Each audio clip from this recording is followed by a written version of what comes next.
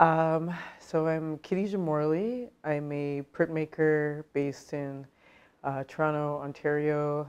Uh, I am first generation Canadian. Uh, my parents immigrated from uh, Jamaica and I was born and raised in Little Jamaica.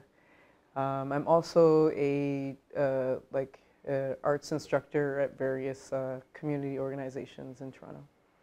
I think like my work relates to power in a emotional sense. Um, so sort of the power to feel vulnerable and speak without fear.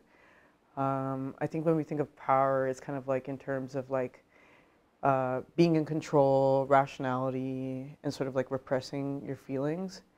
So like in relation to that, um, I think my work sort of empowers a sense of like, or embraces a sense of like surrender. So like surrendering to like altered states of being and sort of um, surrendering to magic pretty much. So I guess it's kind of like the opposite of Western ideals of power.